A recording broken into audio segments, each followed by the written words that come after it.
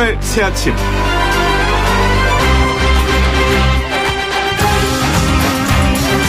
늦었지만 정말 다행입니다. 여야가 8월 1일 본회의를 열고 추경을 처리한 다음 민생 법안을 통과시키는 것에 전격 합의했습니다. 국회 파행 장기화에 따른 성난 민심을 더 이상 견디지 못하고 한 발씩 물러난 것입니다. 누구는 이제 와서 무슨 의미냐 이렇게 말하고요. 또 누구는 방탄 국회를 위한 꼼수 아니냐고도 합니다. 하지만 그럼에도 불구하고 이로써 대한민국은 중러 일에 일치되고 단합된 목소리를 낼 수 있게 되었습니다. 포항 지진과 강원도 산불 이재민을 위한 민생 법안을 처리할 수 있게 되었고 적반하장과 후한무치의 대명사 아베에 대해서도 대응할 수 있게 되었습니다. 국민을 이기는 정쟁은 없습니다. YTN 라디오 노영의 출발새 아침 지금부터 시작합니다.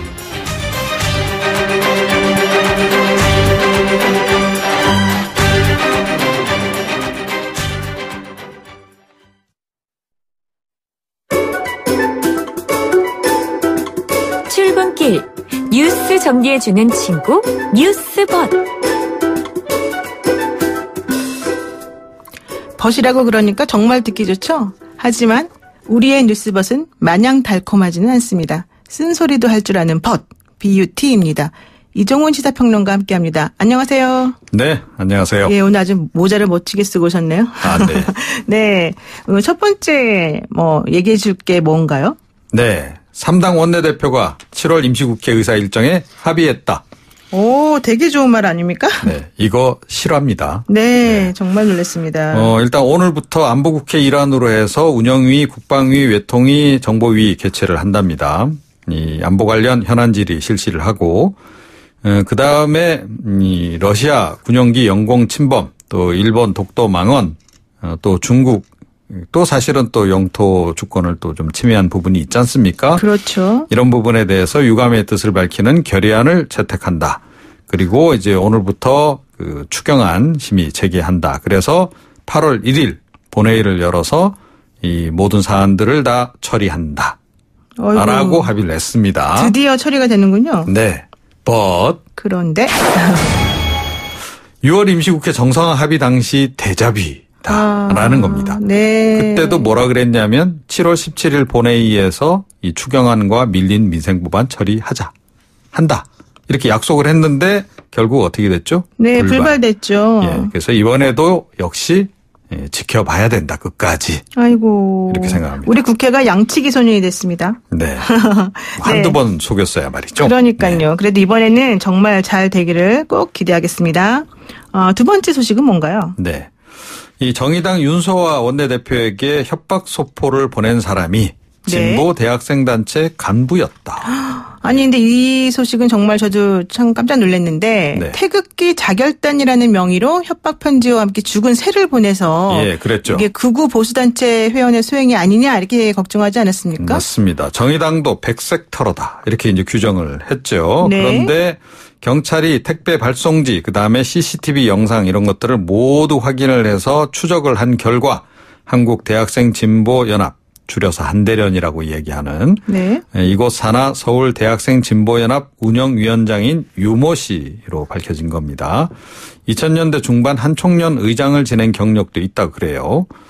어, 지금 이 단체 같은 경우에는 그 지난해 11월 꽃물결 대학생 실천단이라고 하는 산하단체를 만들어서 김정은 이 위원장 서울 방문 환영 행사를 또 주도하기도 했- 했고 네. 그래서 친북 성향의 진보 대학생 단체로 좀 알려져 있는데요. 어제 또 기자회견까지 열었어요. 네. 우리가 왜 윤 원내대표를 협박하겠느냐. 음. 경찰이 증거를 조작해서 진보 개혁 세력을 분열시키고 있다. 경찰이 증거를 조작한다. 이런 얘기가 이 보수단체 쪽도 아니고 어. 진보 진보단체? 쪽에서 나오니 상당히 좀이 문재인 대통령도 좀 당혹스럽겠네요. 그런데 그 이번에 이제 체포됐던 그 유모라고 하는 분이 네. 어 경찰이 뭐 질문을 하고 왜 그러냐 물어봐도 계속 함구하고 있다 그러더니 지금 무슨 얘기를 한 건가요?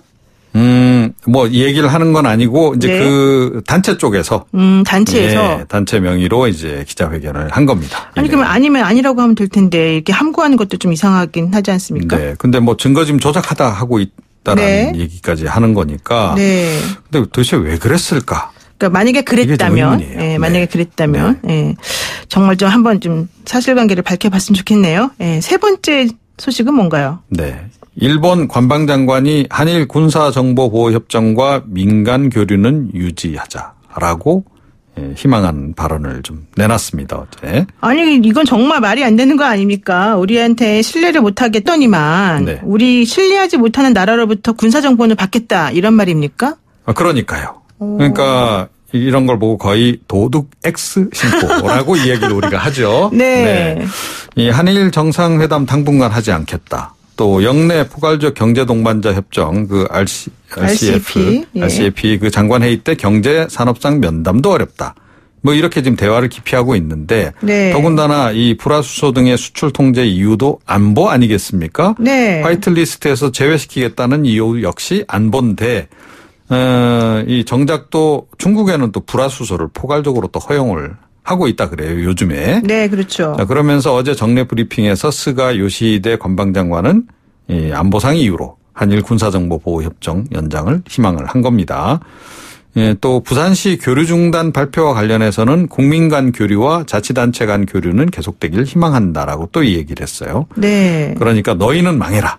우리는 계속 흥하겠다. 아이고 세상에. 이런 얘기죠. 무슨 뭐 떼쓰는 다섯 살도 아니고 이거 너무 심한 것 같은데 네. 이 지소미아라고 하는 게 90일 전에 어 우리는 다시 계약을 이런 협정을 체결하기 싫다 이런 의사를 표현해야 되기 때문에 8월 24일입니다. 그렇죠. 그날이. 그러면은 이번에 8월 2일 날 화이트리스트 한다 그랬잖아요. 네. 그랬잖아요. 그러면 그걸 좀 보고 나서 우리나라도 결정할 건가요? 아, 뭐 그렇게 이제 볼 수 있겠죠. 네. 자, 자, 이런 상황인데, but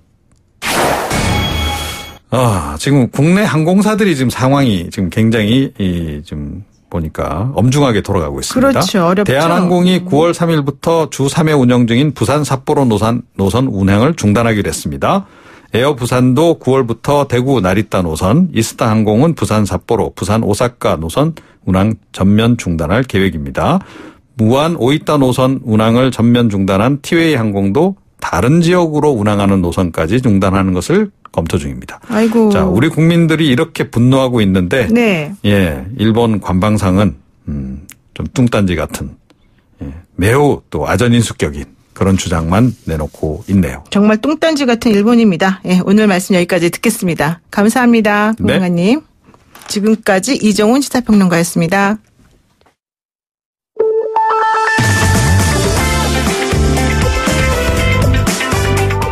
영희와 함께하는 슬기로운 출근길 노영희의 출발 새 아침은 청취자 여러분과 함께 만들어갑니다. 짧은 문자 50원, 긴 문자 100원에 유료 문자 샵 0945, 우물정 0945로 문자 보내주시거나 유튜브 보이는 라디오 댓글창, YTN 라디오 어플리케이션 예스를 통해 여러분의 목소리를 들려주세요.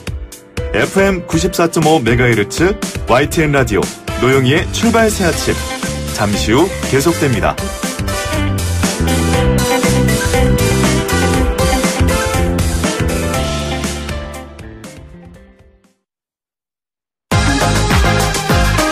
아침을 시작하는 슬기로운 방법. 오늘 내게 이로운 뉴스. 노영희의 출발 새 아침 슬기로운 인터뷰 과학과는 인연이 없는 청취자 여러분도 최근 들어 자주 들어보셨을 이름이죠. 불화수소. 반도체의 핵심 소재인 이 불화수소에 대해서 일본이 안보 문제를 이유로 한국에는 수출을 까다롭게 하겠다라고 했지만 오히려 중국과 대만에는 어, 포괄적으로 이 규제를 허용하는 방식으로 어, 수출을 하고 있다고 합니다. 한미일 동맹이 그렇게 중요하다고 할 때는 언제고 이게 무슨 일인가 싶은데요. 어, 정말 무슨 일인지 어, 국제통상 전문가 송기호 변호사 모시고 한번 자세히 알아보겠습니다. 변호사님 안녕하세요. 예, 안녕하세요. 노영희 앵커님. 예, 지금 상황을 조금 설명을 좀 해주시면 좋겠는데, 그러니까 지금 일본이 우리한테는 어, 뭐, 규제를 좀 깐깐하게 해서, 어, 안 하겠, 안 팔겠다 이런 취, 태도를 취하면서도 오히려 중국이나 대만한테는 그냥 다 사가라 이런 식으로 지금 태도를 보이고 있다. 이렇게 보면 됩니까?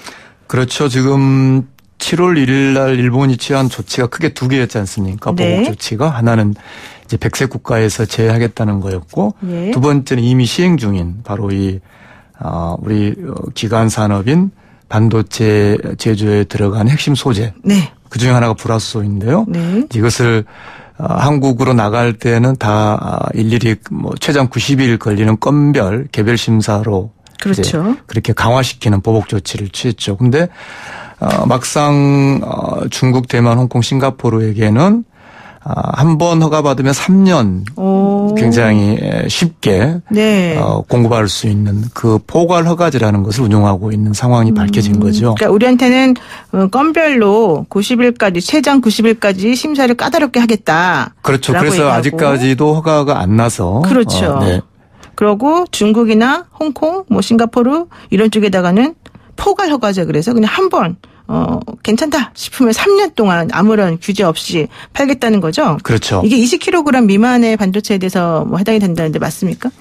이제 일본 고시를 보면은 20kg 이상이냐, 이- 20kg 초과냐 이하나 네네. 두 개로 나눠서 어 이게 20kg 이하인 경우에는 좀 더 쉬운 포괄허가 방식 중에서도 좀 더 쉬운 포괄허가를 주고 있습니다. 네, 그렇군요. 지금 이 한국은 원래는 일본 입장에서 보는 우방국이라고 예전부터 뭐 사실 심리적으로는 그렇지 않았습니다만은 어, 우방국이라고 이제 알려져 있었었는데 한미일 동맹은 어디 가고 왜 우리한테는 이렇게 어렵게 팔고 중국한테 쉽게 파는데 특히 중국은 어, 공산주의를 조금 채택하고 있는 부분이 있기 때문에 우리가 보기에는 어, 오히려 더 위험한 나라로 좀 보는 게 맞지 않나 생각이 드는데요. 더욱 이제 중국은 이 국제 전략물자 통제 시스템 그렇죠. 네. 바세나르 협약이라든지 그리고 어 지금 이 어, 불화수소와 관련 있는 어 화학 생물 생물 무기 통제 시스템이라고 하는 네. 그런 이 그룹에도 들어있지 않은 나라거든요. 네. 그런 나라에 대해서는 포괄 허가를 허용하면서 우리에게는 오히려 우리는 이제 그 네 가지 세계 전략무자 통제 시스템에 정확하게 다 가입해서 네. 엄격하게 통제를 하고 있는 우리나라에 대해서는 이제 개별 그런 어 아주 까다로운 보복 조치를 하고 있다는 것은 그 자체가 정당화될 수가 없는 거죠. 그렇죠. 불화수소가 원래 독성이 매우 강하기 때문에 실명을 유발할 수 있으니까 화학무기 원료를 쓰게 되면 위험하다 해서 사실은 이제 전 세계적으로 네개 정도 이런 것을 수출할 때 어 좀 어떤 그 서로 간에 좀 규칙을 지키자라고 해서 만들어 놓은 규칙들이 있었었는데 그렇죠. 우리나라는 거기에 다 가입을 해가지고 잘 지키고 있었고 그렇죠. 중국은 이제 한 군데 정도만 가입해 있고 나머지 또 가입도 안 하고 있고 그렇죠. 그런데 오히려 우리나라 잘 지키고 있는 우리나라는 위험하다 그러면서 안 팔고 네. 이거 좀 말이 안 되는 거 아닙니까? 그렇죠. 그래서 어 조금 자세하게 말씀드리면 이제 그 가트라고 하는 네. 세계 어 무역 어 규범 그 협정을 보면 10조 3항에 이런 수출 규정을 네. 어 공평하고 합리적으로 일관되게 해야 된다 이런 조항이 있는데 이 조항에 명백하게 위반이 되는 거죠. 네, 그렇군요. 지금 일본이 당장 이번 주, 그러니까 8월 2일 정도에 우리나라를 그 수출 우대국인 화이트 리스트에서 제외할 거다 이런 전망이 지금 나오고 있는데 이 화이트 리스트가 좀 정확하게 뭔가요? 그러면 이 백색 국가라고 하는데 예. 우리 경우 우리 법에도 이 제도가 있습니다. 어, 이게 이렇게 음. 낯선 제도가 아니고 예, 이 백색 국가 제도라는 거는 어 그러니까 이제 9.11 테러와 좀 관련이 있어요. 네, 아. 그 이야기가 좀 필요한 부분인데 네. 9.11 테러 전에는 어 리스트 그러니까 특별히 개별 허가를 받아야 되는 어 어떤 나라들의 리스트. 예, 예. 그 리- 어 그러니까 어 특별히 개별 허가가 필요한 품목들 어, 좀 민감하고, 뭐, 군수용이라든지 또는 군수 민간, 어, 겸용으로 쓸 수 있는 네. 그러한, 어, 물건들이나 기술 목록을 만들어 놨단 말이죠. 그래서 네. 이 목록에 들어 있으면 허가를 반드시 받아, 받아라는 거고, 이 목록이 없으면 허가를 받지 않아도 되는 거예요. 네, 수출할 때요. 네. 예. 지금 아까 말씀하신 불화수소는 이미 이 목록에 들어있기 때문에 그렇죠. 우리가 백색 국가이냐 아니냐와 관계없이 허가 대상이었고 예. 지금 백색 지금 우리나라 지금은 백색 국가이잖아요. 근데 네. 백색 국가인 상태인데도 불화수소에 대해서 아까 말씀드린 그런 보복 조치를 했잖아요. 그러니까 네. 어, 목록에 들어있는 것은 백색 국가인지 아닌지와 관계없이 규제를 하는 건데 예. 이제 9.11 테러가 나고 나서 미국이 목록에 들어있지 않은 것도 위험하다는 이야기를 자꾸 하게 돼요. 아, 그게 한 1,100여 개 정도 되는 품목이죠? 그렇죠. 예. 네. 근데 이제 그러면 목록에 있지 않은 걸 어떻게 다 일일이 규제하느냐. 예. 그래서 어떻게 보면 이게 일본 수출업자를 위한 제도이죠. 그렇죠. 좀 비교적 안심할 수 있는 나라에 대해서는 그냥 계속 허가 없이 통 어, 수출해도 된다. 네. 그러한 나라들을 지정을 해주는 게 이제 백색 국가이죠. 아. 아, 그래서 그러니까? 백색 국가에서 제외된다는 것의 의미는 네. 목록 외의 기술 제품에 대해서도 군사적으로 전용될 그런 상황, 네, 특별한 네. 상황이 있을 때는 이제는 허가를 받아라는 것을 의미합니다. 음, 그러니까 기본적으로는 뭐 우리가 지금 문제가 되고 있는 세 개 그 반도체 부품 소재 이거 이외에 한 1,100여 가지 정도 되는 어 물품들이 사실은 조금 그 위험할 수 있기 때문에 통제 대상이 되는데 그러한 물건들에 대해서 27개국의 화이트 리스트에 들어 있는 나라들에 대해서는 그냥 그 수출을 좀 자유롭게 그동안 해 왔었다 이런 얘기인 거죠. 그렇죠. 그런데 여기 서 제외가 되게 되면은 우리가 사실 엄청나게 곤란을 그럼 겪게 되는 거 아니겠습니까?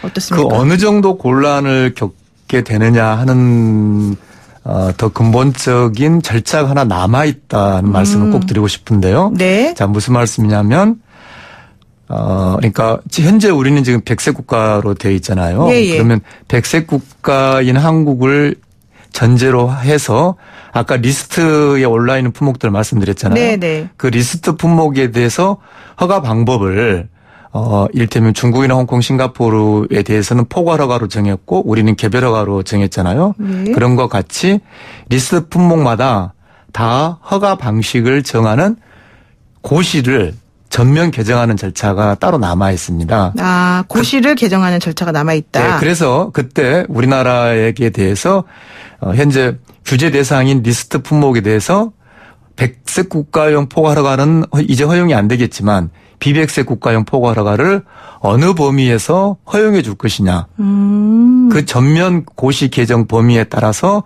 우리에게 큰 타격이 될 수도 있고 안 될 수도 수도 있고 그런 상황이죠. 그러니까 우리나라가 큰일이 났다고 무조건 지금 걱정할 게 아니라 그 고시가 어떤 식으로 개정됐느냐를 조금 보면 그때 가서 어느 정도 영향력을 미칠 수 있는지를 조금 확인할 수 있겠다. 이런 말씀이시죠. 그렇죠. 지금 홍콩, 어, 싱가포르, 대만 다 현재 이미 비백색 국가거든요. 네. 네, 그 나라들도 일본과 통상적인 어, 무역 거래를 하고 있지 않습니까? 그렇죠. 그러면은 제가 하나 여쭤볼 것 같은데 그 뭐 사실 어느 나라든지 자기네 나라에서 만드는 물건들을 외국으로 수출을 할 때 뭐 내가 A란 나라를 좋아하면 그냥 좀 잘 편하게 주고 B란 나라를 싫어하면 좀 까다롭게 주고 이게 다 그 나라 그러니까 그 물건을 만드는 나라의 마음이 아닌가 생각이 들어요. 그런데 어왜 지금 우리나라 같은 경우에 일본이 그러면 우리나라한테 옛날에는 잘 주다가 이제는 안 준다고 하니까 사실은 그게 좀 부당하다고 얘기를 하고 있는 건데 일본은 뭐 아니다 우리 기준에 맞다 이렇게 좀 얘기하는 거잖아요. 그렇다면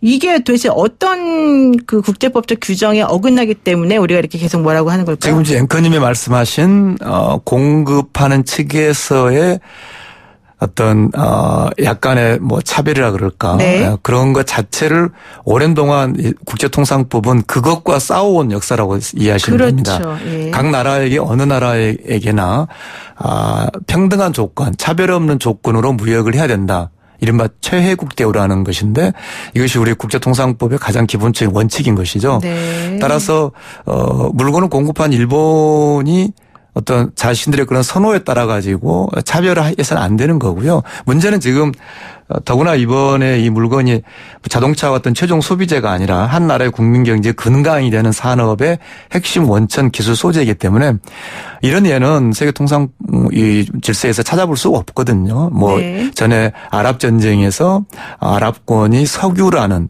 어떤 어이 기본적인 소재를 금수 조치한 것 에 비견할 수 있는 대단히 극단적인 조치이기 때문에 어뭐 공급하는 사람이 뭐 자신의 어떤 판단에 따라서 뭔가 어떤 다르게 대우할 수 있지 않느냐 하는 것은 어, 세계 무역 규범에서는 받아들여지기 어려운 거죠. 음, 그러니까 세계 무역 기구에서는 그동안에 자유 무역 이런 것들을 강조해 왔기 때문에 어 그렇게 한 나라가 일방적으로 뭐 어떤 나라, 다른 나라에 대해서 규제하는 것은 옳지 않다는 규, 주장을 해왔고 그래서 그게 바로 이제 가트 10조 사망이라고 하는 것으로 표현이 되어서 어 모든 나라들에게 차별 없이 어 물건을 팔 수 있도록 해야 된다 이런 그렇죠. 거였다는 거죠. 그래서 그 최혜국대로라는 그 기본 원칙은 아예 1조에 못 박혀 있습니다. 아, 그렇군요. 네. 예. 아유, 지금 뭐 얘기를 듣다 보니까 시간이 거의 다, 다 돼버려가지고 딱 한마디만 여쭙겠습니다. 우리나라 지금 그러니까 엄청나게 큰일 난 겁니까? 어떻게 됩니까? 음, 엄청나게 큰일 난 건 아니라고 생각합니다. 아. 우리 기업, 우리 정부가 대응 어, 하는 하기에 따라서, 따라서? 오히려 이것이 네. 그동안 우리가 소홀히 했던 어, 이 핵심 원천 기술 부품에 대한 우리의 산업 생태계 네. 그것이 잘 조성되는데도 우리 어떤 중요한 계기가 될 수 있다라고 생각합니다. 네, 아유 송 변호사님 말씀 들으니까는 너무 좀 안심이 되는데요. 오늘 말씀 여기까지 듣겠습니다. 네, 감, 초대해주셔서 감사합니다. 네, 지금까지 국제통상 전문 송기호 변호사와 함께했습니다. 노영희의 출발새 아침 잠시 후 2부에서는 바른미래당 이혜훈 의원과 함께 우아한 정치 토크 준비되어 있습니다. 잠시만 기다려주세요.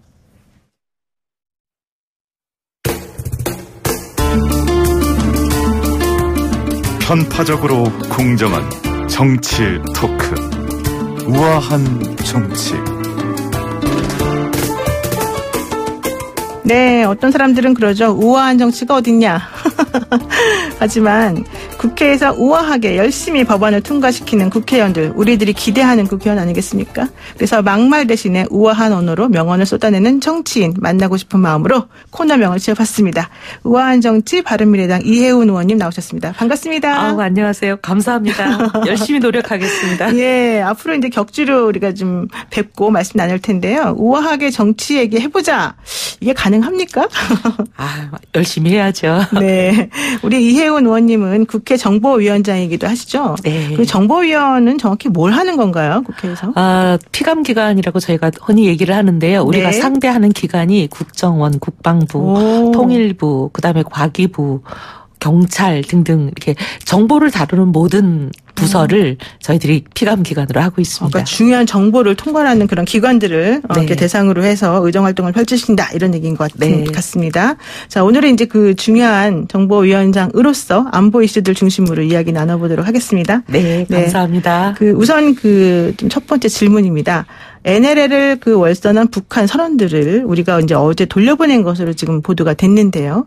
일각에서는 너무 쉽게 풀어주는 거 아니냐. 이 북한에서는 그 러시아 어선 한국인이 승선했다는 러시아 어선은 열흘이 걸려가지고 풀어줬는데 이거 너무 성급하다 이런 얘기하는 사람들도 있습니다. 어떻게 보십니까? 뭐 국민들이 그런 마음을 갖는 건 이해가 되죠. 네. 북한이 우리한테 이렇게 괴롭히면 우리도 비슷하게 좀 괴롭혀야지. 왜 우리는 이렇게 나이스하게 해주냐라는 그러니까요. 건데. 예. 근데 정부 설 명은 이제 원칙이 그렇다는 거잖아요. 대공 혐의점이 없고 조사해봐서 기순 의사가 확실하면 지체 없이 즉각 돌려보내는 거다.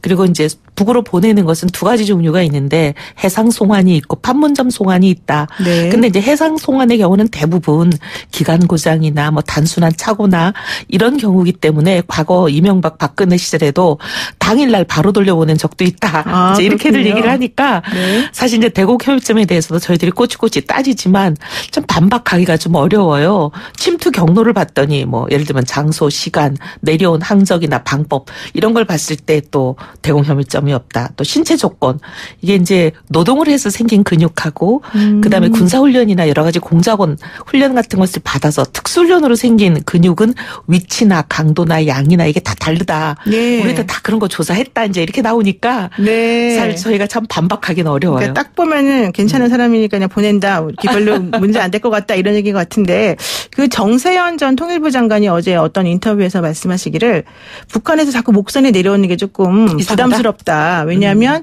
목선이라고 하는 걸 가장해서 혹시 우리의 그 해안 경비 시스템이나 세- 태세가 어떤지를 좀 알아보려는 거 아니냐. 이런 우려도 조금 있다. 이런 얘기를 그럴, 하셨거든요. 그럴 가능성이 있죠. 왜냐하면 아, 그래요? 이배 자체는 예. 간첩 행위를 했다는 그런 여러 가지 흔적이나 이런 걸 보기는 어려워도 네. 뭐 어떻게 보면 고기 잡이배, 오징어 잡이배를 가장해서 내려와 보고 네. 그래서 내려오면 어떤 식으로 대응하는지를 살펴보고 이럴 수는 있는 거죠. 네. 그래서 그런 부분이 상당히 이제 걱정되는 부분이긴 해요. 네, 그래도 정보위원장으로서 어, 일단은 안심할 수 있는 상황이기 때문에 돌려보냈다 얘기하시는 거예요. 라고 이제 보고를 봤는데 네. 일단 그 부분에 대해서 어, 정부가 얘기하는 그 설명을 반박하기는 좀 쉽지 않은 상황입니다. 예, 일단 믿어보겠습니다. 어, 그리고 25일에 북한이 강원도 원산 일대에서 신형 단거리 미사일로 추정되는 발사체 두 발을 또 동해로 발사한 적이 있습니다. 이 도대체 북한 왜 이럽니까? 아, 뭐 김정은 직접 김정은 위원장이 직접 자기 입으로 얘기했잖아요. 네, 이러는지. 남한을. 예. 예.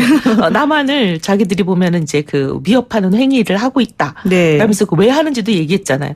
우리가 이제 한미 연합 훈련 곧 하게 돼 있는 8월 달 네. 그거에 대해서 자기들이 하지 말라라는 신호이고 또 그다음에 최근에 이제 우리가 도입하기로 결정한 그 F35A라는 그렇죠. 어떻게 보면 전투기 스텔스기잖아요. 네. 이거에 대해서 자기들이 견제고 날리는 거다. 있다라고 분명히 자기들 속내를 밝히고 있습니다.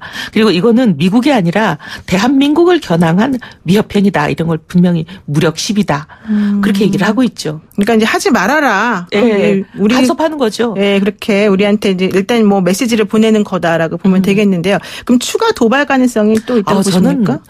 굉장히 높다고 봅니다.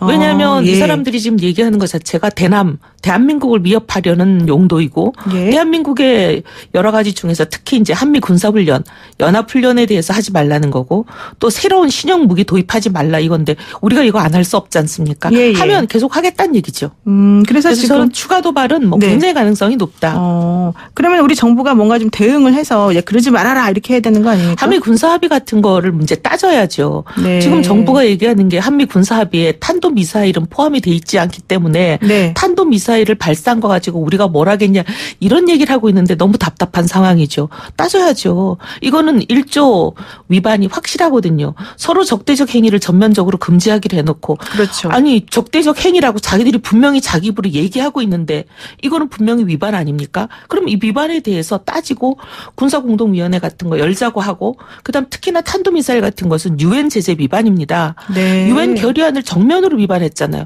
그럼 유엔도 안보리 소집을 해달라고 요구 하고 여기서 제재를 강화하자고 우리가 주장하고 해야죠. 근데 정부가 이런 걸 안 하고 있어서 답답합니다. 근데 미국에서는 오히려 그 발사체가 물론 발사는 동해 쪽으로 됐지만 뭐 우리나라를 향한 건 아니다라는 얘기를 하기도 아, 하고요. 미국 자기들한테 위협이 안 된다는 얘기를 하는 거지 대한민국에 위협이 안 된다는 게 아니죠. 네. 그러니까 지금 북한도 보면 미국을 겨냥하지 않고 대한민국을 겨냥한 거다라는 걸 굉장히 분명히 하고 있어요.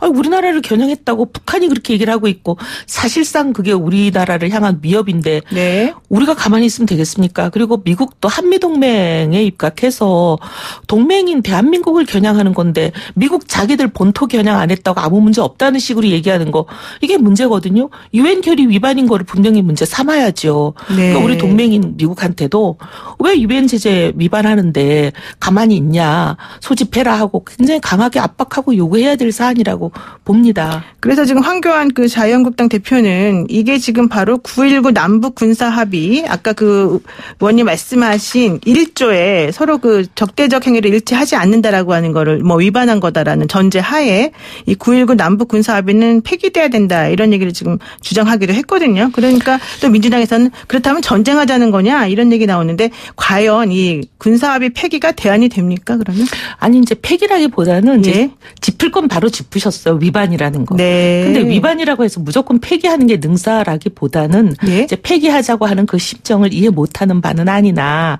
그래도 우리가 이제 당장 폐기하는 것 전에 해볼 여러 가지 조치들이 있는 거잖아요. 네네. 그것부터 해보는 게 더 좋지 않을까 생각하는데 이제 좀 전에 말씀드린 대로 이건 1조 1항 9.19 군사합의 네네. 1조 1항 위반은 분명하니까 그럼 이걸 어겼으니까 남북 군사 공동위원회 소집해라. 요구하고 그다음에 이제 우리가 9.19 합의에 있어서 지금 맹점이 여러 가지가 나오잖아요. 예. 탄도 미사일을 담지 않은 거 이런 부분이 맹점이니까 이런 것들을 이제 따져서 어떻게 보면 군사 합의서를 이제 개정을 한다든지 뭐 여러 가지 노력을 해야죠. 그리고 우리에 대한 적대 행위가 분명한데 왜 이거를 짚지 말라는 겁니까? 전쟁하자 이렇게 몰아붙이면 안 되죠. 전쟁이라는 것을 하지 않기 위해서 이런 것을 따지고 요구하고 재발 방지를 하고 해야 되는 거 아니겠습니까? 네. 이런 걸 안 하면 전쟁이 오히려 나지요. 그러니까 정부의 대응이 너무 미온적이고 네. 소극적인 것이 조금 문제인 것 같다 말씀하시고 있습니다. 네. 그럼 여기에 대해서 그 자유한국당이 그 핵무장론이라고 하는 걸 내세우고 있는데요. 우리가 이제 자체적으로 우리도 핵무장을 해야 되는 거 아니냐 이런 얘기 계속 하는 것 같습니다. 어떻습니까 이게? 뭐 오죽 답답하면 그런 얘기까지 할까 싶기는 하지만 예. 핵무장이라는 게 대가를 또 지불해야 되잖아요. 예, 예. 모든 어떤 우리 결정이라는 것은 그 결정을 했을 때 우리가 누릴 수 있는 편익 그 대신 우리가 치러야 하는 대가 이 두 개를 비교해 봐 가지고 예. 좋은 쪽으로 가야 되는 거 아니에요? 근데 지금 이제 핵무장을 하게 되면 우리가 가입해 있는 핵 확산 금지 조약, 예. 소위 NPT라는 거를 탈퇴하고 핵을 생산해야 되는 거 아니겠습니까? 네. 그러면 이게 국제사회에 이제 어떻게 보면 제재 대상이 바로 되는 거니까. 그럼 우리도 엄청난 경제적인 타격을 입을 수 있잖아요. 지금 일본 하나가 저렇게 경제적인 제재를 하는 것 때문에 이 나라가 이렇게 난린데 당장 만약에 우리가 핵무장을 하겠다 NPT를 탈퇴하고 그러면 중국이 우리나라 최대 교육국입니다. 일본보다 예. 훨씬 교육 규모가 큽니다. 근데 중국이 당연히 이 핵 무장에 대해서 반대하면서 경제 보복 당연히 들어오죠. 그러니까 이런 여러 가지 대가를 치르는 걸 감안하면 그런 핵무장보다는 제 의견은 오히려 미국이 가지고 있는 전술핵을 재배치하고 전술핵 그다음에 재배치. 나토식으로 우리가 그것을 공유하는 예. 그런 방법, 나토식 핵 공유 이런 게 오히려 더 먼저 취해 볼 수 있는 방안이 아닐까. 네, 그러니까 자유한국당이 주장하는 핵 무장론은 그동안 우리가 취해왔던 태도하고도 맞지 않는 거고 국제사회에서 지향하는 바하고도 틀리기 때문에 그건 옳지 않고 오히려 이제 다른 방식으로 어, 같은 효과를 노리는 것이 좋겠다 이런 말씀 좀 해주고 계십니다. 그 그러면 이제 그와 관련해서 좀 전에 일본 얘기하셨기 때문에 우리가 그 다음 달 2일에 화이트 리스트 일본의 그 백색 국가에서 제외될 가능성이 높다 이런 얘기 하고 있는데 그러면 여기에 대해서 지금 자유한국당하고 바른미래당에서 계속 얘기한 것은 외교 채널을 가능해 가, 가, 가동해서 뭔가 좀 해결해라 이런 얘기였거든요. 네. 그럼 어떻게 외교 채널을 가동하는 저는 수가 투 있을까요? 트랙을 동시에 좀 했으면 좋겠습니다. 예, 첫 예. 번째 트랙은 국제 사회에서 이 다자 외교를 통해서 우리가 얼마나 부당한 일을 당하고 있으며 지금 일본이 이거는 분명히 자유무역의 원칙에 반하는 잘못된 행위다 하는 것을 국제 사회에 많이 알리는 거죠. 예, 예. 그다음 또 하나는 이제 한일 간의 양자 외교를 통해서 이게 더 이상 확전 되지 않도록 좀 이렇게 최대한 억제해보는 그런 노력을 음. 동시에 해야 되는데 지금 당장 이번 7월 말 8월 초 열리게 되는 어 아시안 지역 안보 포럼이라는 예, 게 예. 있습니다. ARF. 여기에서 이 두 가지를 다 해보는 게 저는 굉장히 시급하다고 보죠. 예를 들면 이제 국제 사회를 우군으로 만들기 위해서는 예.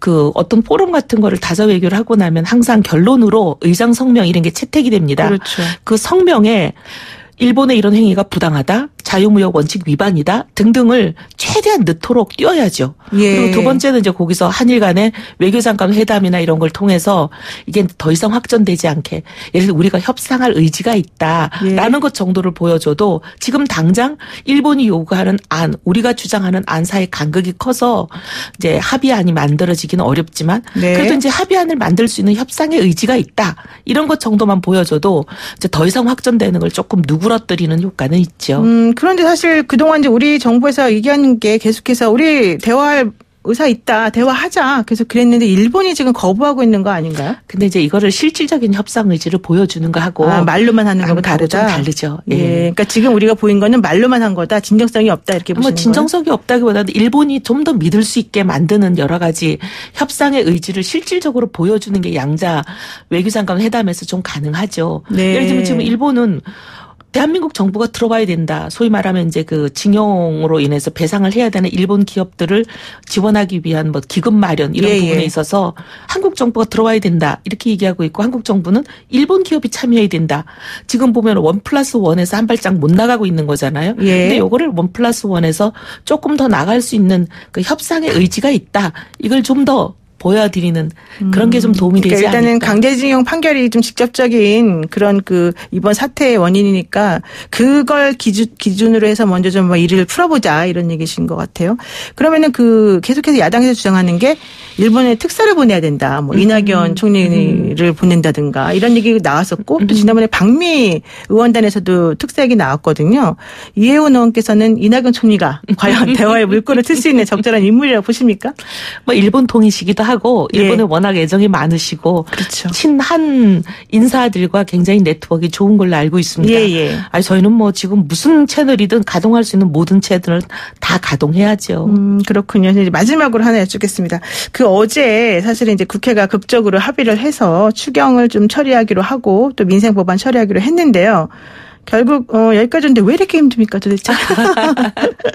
서로가 조금만 역지사지하면 좋을 것 같아요. 네. 여당은 야당 시절을 좀 생각했으면 좋겠고 네네네. 야당도 이제 우리가 국정 운영을 했던 그 시절 그 야당이 참 찬성 안 해주고 힘들었던. 네, 힘들었던 그 시절 좀 생각하고 서로가 역지사지하면 조금 더 나아지지 않을까. 그럼 정말 마지막으로 네. 그 한국당 국회 소집 요구가 방탄 국회 때문이다 이런 얘기 있는데 어떻습니까? 저는 그게 3이라는 국회가 무슨 방탄이 되겠습니까? 예. 그리고 방탄 국회라는 거는 체포 구속을 국회 동의 없이 못 한다는 거거든요. 음. 그렇죠. 회기 예. 중에. 예. 근데 지금 한국당 의원들 체포하고 구속 대상은 없습니다. 네. 그냥 소환해서 조사하라는 건데 좀 피해 다니는 몇 사람이 있는 거니까 방탄 국회 하고는 저는 별 상관이 없다고 봅니다. 예, 아 정말 오늘 말씀 나누다 보니까 우아한 대화가 어떤 건지 우리가 좀 알 수 있을 것 같은데요.